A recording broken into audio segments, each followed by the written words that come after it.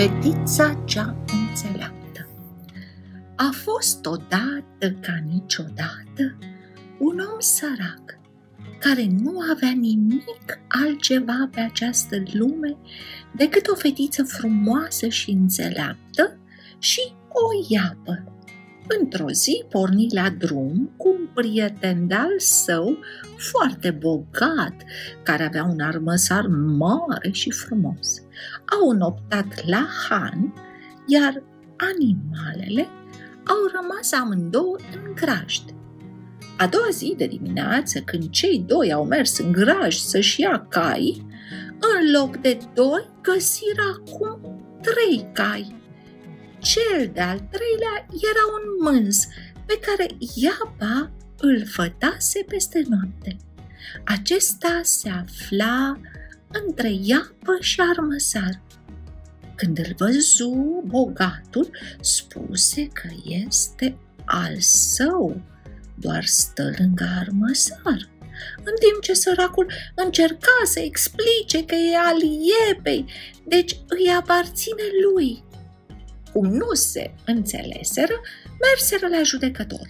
Acesta, deși știa cine e adevăratul proprietar, le spuse că va câștiga cel care va răspunde la întrebarea ce e cel mai rapid lucru din lume, cel mai gras, cel mai frumos și cel mai prețios.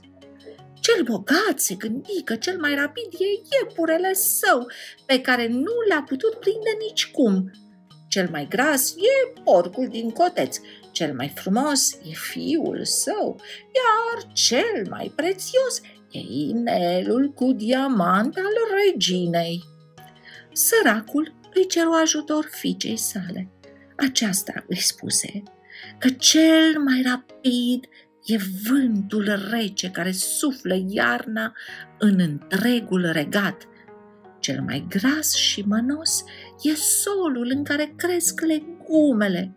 Cel mai frumos e zâmbetul unui copil, iar cea mai prețioasă e cinstea.